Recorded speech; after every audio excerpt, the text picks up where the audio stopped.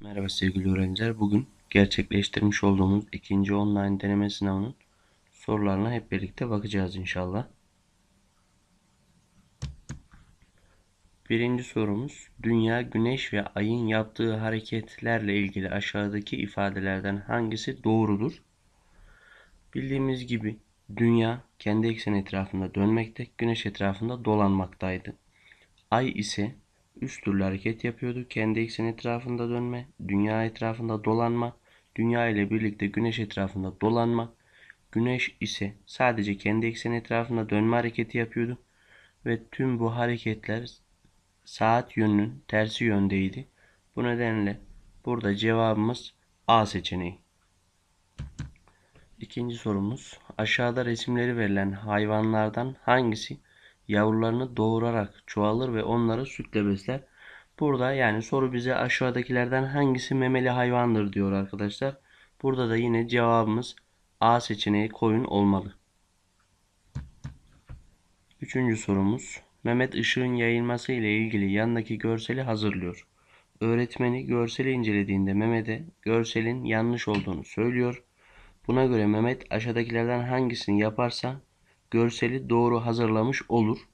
Arkadaşlar bildiğimiz gibi ışık doğrusal biçimde her yöne yayılacağı için burada Mehmet ışının her yönde yayıldığını gösteren ışınlar çizerse doğru hazırlamış olacak. Yani cevabımız C seçeneği.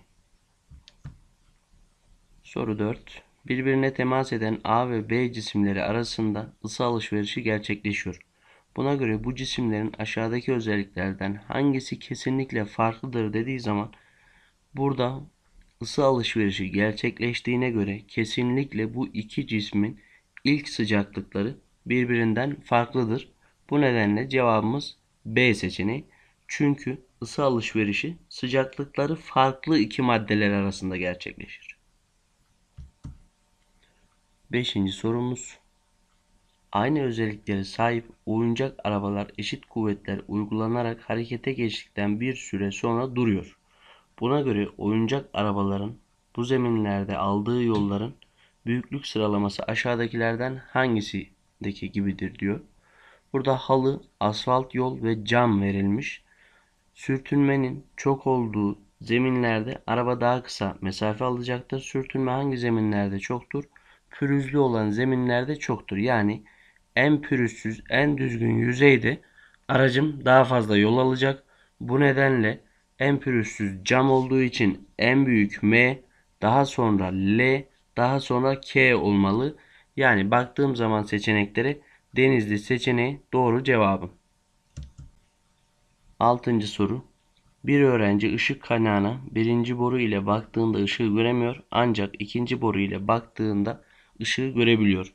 Bu deneyden yola çıkarak öğrenci aşağıdaki ifadelerden hangisine ulaşabilir? Biz biliyoruz ki ışık doğrusal yayılır. Bu nedenle ikinci boru ile baktığında görüyor, birinci boru ile baktığında göremiyor. Yani doğru cevabımız C seçeneği. Yedinci sorumuz. İç iskeleti vardır. Ayakları olmadığı için sürünerek hareket eder. Vücutları sert ve kuru pullarla kaplıdır. Bu özelliklerin tümüne sahip canlı aşağıdakilerden hangisidir diyor. İç iskelet var dediğine göre omurgalı bir canlı olmalı. Diğer iki seçenek bize bunun bir sürüngen olduğunu ifade ediyor.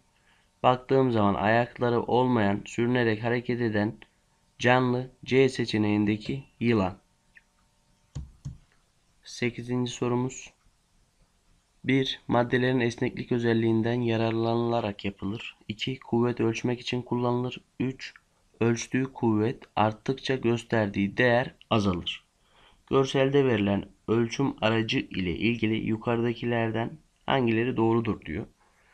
Görselde verilen bir dinamometre arkadaşlar. Dinamometre ile biz kuvvet ölçeriz. Ve yayın esnek oluşundan yararlanılarak yapılmış bir ölçü aletidir. Ölçtüğümüz kuvvet büyüdükçe yaydaki uzama artacağı için gösterdiği değer artacaktır. O nedenle yargılara baktığım zaman maddelerin esneklik özelliğinden yararlanılarak yapılır. Bu seçeneğim doğru çünkü içerisinde esnek bir madde olan yay kullanılır. Kuvvet ölçmek için kullanılır. Evet dinamometrenin amacı budur. 3. Ölçtüğü kuvvet arttıkça gösterdiği değer azalır. Bu yanlış. Ölçtüğü kuvvet arttıkça gösterdiği değer de artacak. O zaman doğru cevabım D seçeneği oluyor. 9. soruma baktığım zaman ise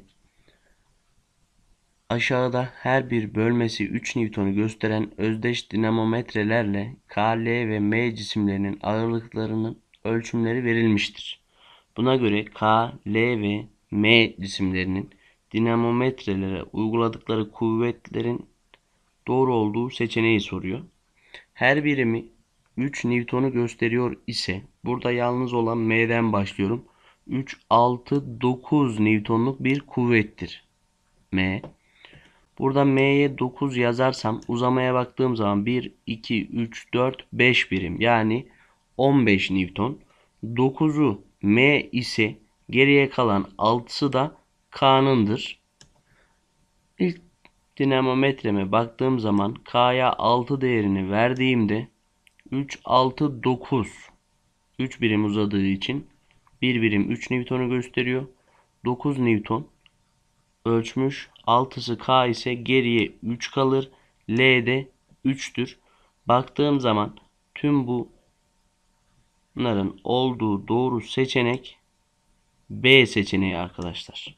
Cevabımız B oldu. 10. sorumuz hava direnci ile ilgili.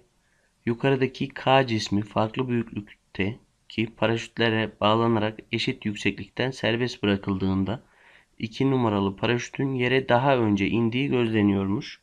Buna göre diyor yargılardan hangileri doğrudur bakalım. Birinci paraşüte uygulanan hava direnci daha fazladır. Evet 2 numaralı paraşüt daha önce düştüğüne göre özdeş cisimler asılmış bu paraşütlere. O zaman birinci paraşüte uygulanan hava direnci daha fazla olur. Bu yargım doğru. 2. Hava direnci havanın cisme uyguladığı ve cismin hareketine ters yönde etki eden kuvvet türüdür diyor. Evet bu bilgimiz de doğru. Hava direnci havada meydana gelen sürtünme kuvveti gibidir diye söylemiştik. Hareket yönüne ters yönde. Bu nedenle bu yargımda doğru. 3. Paraşütün hava ile etkileşen yüzeyi arttığında yere inme süresi de artar. Evet burada baktığımız zaman birinci paraşüt ikinci paraşüte göre daha büyük ve daha geç bir zamanda inmiş. Sınıfta yaptığımız buruşturulmuş kağıt ve buruşturulmamış kağıt örneğini de hatırlayacaksınız. Bu üçüncü yargımız da doğru oldu. Bu nedenle cevabımız D seçeneği. Soru 11. Mert 1 ve 2 numaralı kavramlarla ilgili tablodaki soruları yukarıdaki gibi cevaplıyor. Buna göre 1 ve 2 yerine yazılması gereken kavramlar aşağıdakilerden hangisidir? Burada ısı ve sıcaklıktan bahsetmiş. Kısaca hatırlayacak olursak arkadaşlar ısı herhangi bir şeyle ölçülmez. Kalorimetre kabı ile hesaplanırdı. Bir enerji çeşidiydi. Sıcaklık ise termometre ile ölçülen bir değer idi. Bir enerji çeşidi değildi.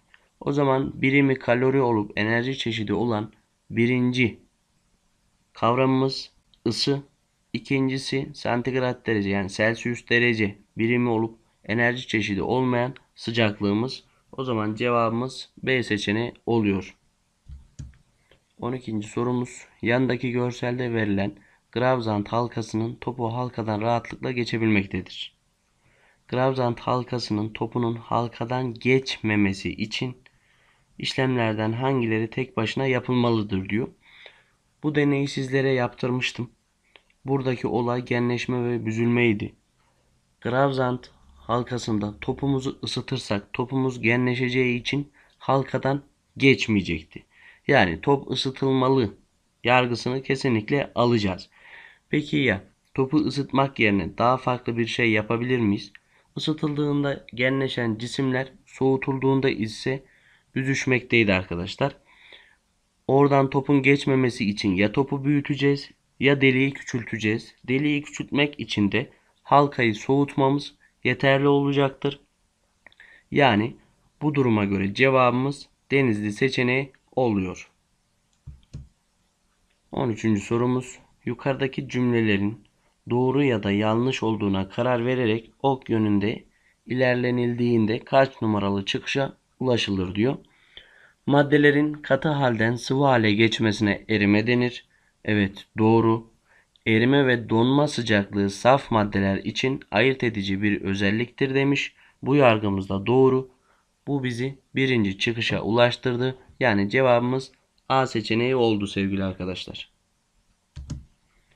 Soru 14. Özdeş kaplarda bulunan farklı sıcaklıklardaki sıvılar seçeneklerde verilmiştir. Kaplardaki sıvılar karıştırıldığında sıvılar arasındaki ısı akışının yönü hangi seçenekte doğru verilmiştir? Bildiğimiz gibi ısı alışverişi ilk sıcaklıkları farklı olan maddeler arasında gerçekleşir ve akış yönü sıcak maddeden soğuk maddeye doğrudur. Bunları bilerek bu soruya baktığımız zaman A seçeneğinde 25 dereceden 60 dereceye ısı akışı olduğunu ifade etmiş. Bu kesinlikle doğru değil. B seçeneğinde yine 70 dereceden 90 dereceye bir ısı akışı olduğunu söylemiş. Yine kesinlikle doğru olmayacak çünkü ısı akışı sıcak maddeden soğuk maddeye doğru gerçekleşecek. Yine denizli seçeneğinde aynı hata soğuk maddeden sıcak maddeye ısı aktığını söylüyor. Yanlış. Doğru seçeneğimiz C olacak arkadaşlar. Çünkü burada 100 dereceden 75 dereceye ısı aktığını ifade ediyor. Evet bu doğru. Sıcak maddeden soğuk maddeye doğru olur ısı akışı. Son sorumuza baktığımız zaman arkadaşlar Hasan laboratuvardaki bir sıvıyı ısıtarak belirli aralıklarla sıcaklığını ölçüyor. Elde ettiği ölçüm sonuçlarına göre yukarıdaki grafiği çiziyor. Buna göre Hasan'ın ölçümünü yaptığı sıvı tabloda kaynama sıcaklığı verilen saf sıvılardan hangisidir diye sormuş. Baktığımız zaman sıcaklık zaman grafiğine ilk etapta 5 derece, ikinci dakikada 15 derecede, 3, 4 ve 5. dakikada ise 25 derecede sabit kalıyor. Bize sıcaklık zaman grafiği verildiğinde yatayda bir sabitlik gördüğümüz zaman burada olduğu gibi burada sabit kalmış sıcaklık değeri bir hal değişimi söz konusu olacağını ifade etmiştik. Burada da başlangıç maddem sıvı olduğu için 25 derecede bu sıvı kaynamış arkadaşlar. O zaman baktığım zaman aşağıda verilen maddelerden kaynama sıcaklığı 25 olan madde Z maddesidir. O zaman benim aradığım bu arkadaşlar cevabım C seçeneği oldu. Bir sonraki videoda görüşmek üzere. Kendinize iyi bakın. Sağlıkla kalın. Evde kalın.